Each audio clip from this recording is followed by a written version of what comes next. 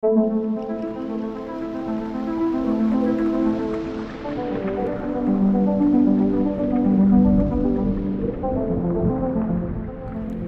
now we'll cover some software troubleshooting. To keep it simple, stupid still applies. Sometimes you just need to restart the program. Sometimes you need to restart the computer.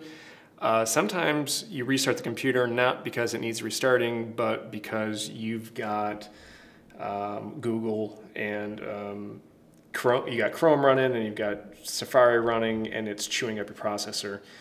Activity Monitor is a fantastic application that's built into the Mac OS to look to see where's my processor? Why, why is it humming? I'm not doing anything. Oh, look at that. All these things are open. I didn't know that they were open. So let's go ahead and, you know, quit out the applications that we're not using uh, because it has nothing to do with our shoot. Um, that's, you know, that's foundational. So a fresh start on the computer, running only Capture One, that's a good start. Uh, once you're in Capture One, uh, if you go into Preferences and you go into General, which is the first tab, um, sometimes, uh, depending on the build of your machine, uh, OpenCL, uh, which is the graphics acceleration, can be a problem if, it's, if, the, if the graphics card in your machine actually isn't supported by Capture One. Um, so it's good to switch these uh, display and processing to never if you're running into problems. Uh, processing only has to do with output processing. So if you are trying to output and it's stalling, you don't understand why, um, set that to never. Uh, then restart. You got to restart the. Uh, you got to restart Capture One in order for that to take effect. Then when you start again, that batch might just start moving just fine. Um, the other thing to look at is under the Capture tab, um, whether your camera is connected, uh, is whether it's been checked that it can connect. Uh, depending on whose computer you're using, if you're teching for somebody and they're using a different camera than they usually uh, have, uh, they might not have uh, Nikon and Sony even turned on in their preferences. So you got to make sure that uh, the camera can even connect by checking those boxes.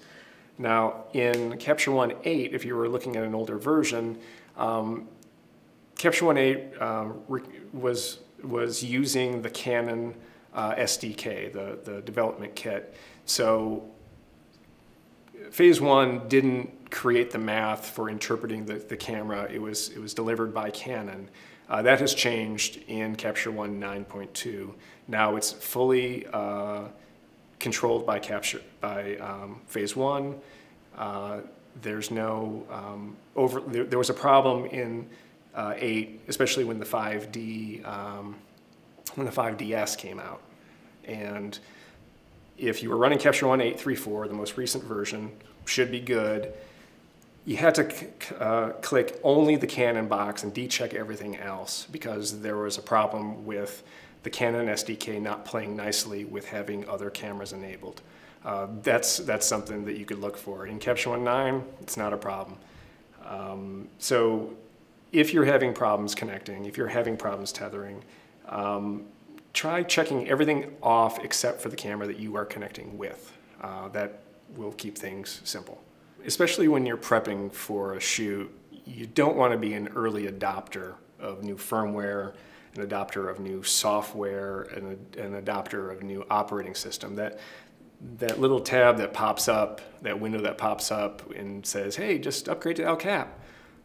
Um, you might not want to do that right before your shoot. Um, if you're going to do that, uh, it's safe to, you know, best practice is to clone your entire hard drive to a secondary drive. So you've got an entire backup of exactly the way that operating system was set up.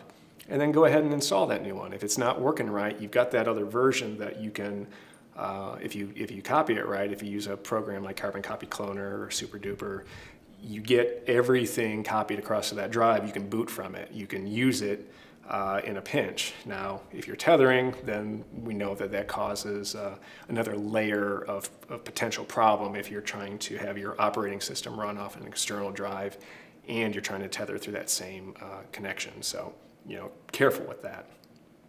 Um, so be a slow adopter. We, test the uh, software versions, we, we test the software versions in the different OS versions uh, at Capture Integration. That's what we do. We, we have a link on our website that people can check in on to say, have we blessed this uh, software yet? Have we, have we said that this is tested and confirmed, this, that this firmware is working, you know, because there's only so much that the developers can do to test it when they don't have as many setups as there are in the world of, of shooters using their equipment in the ways that they use it. So um, we test it, and then when we bless it, it's still with the caveat that should be good.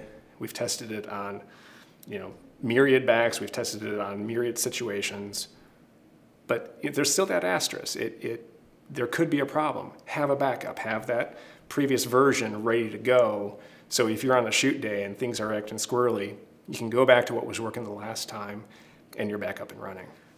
Okay, so your operational checklist when you're when you're encountering a problem, first, quick capture one, relaunch. If that doesn't solve it right away, like right away, then restart the computer. Take that, you know, that uh, with a solid state drive, restarting a computer isn't what you know it used to be. They they fire up really fast, really easy to quit the applications you've got running, restart the machine. That way, when it restarts, you're not relaunching all of those applications that aren't serving you right now. You're, you're here to tether, so let's just open up Capture One, that'd be the only thing. So first off, shut down those programs, restart the computer, just have Capture One going, and see if you have success.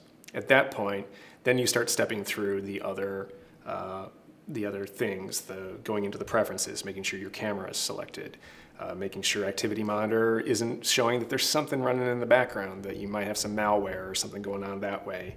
Um, it's always good to have um, some kind of a drive utility tool that makes sure that you're, you're like a, a, a DiskWarrior, something that's keeping the catalog file organized along that tracks all the rest of your files.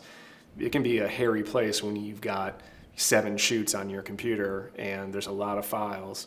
Um, corruption can start happening and you don't even notice it. There's good proactive things to do to keep your computer in fine running shape when this is your primary way of getting your, you know, your very important shoot into a reliable uh, hard drive uh, through the layers of software, firmware, and operating system. That wraps up software troubleshooting. Next, we're going to move into setting up Capture Pilot.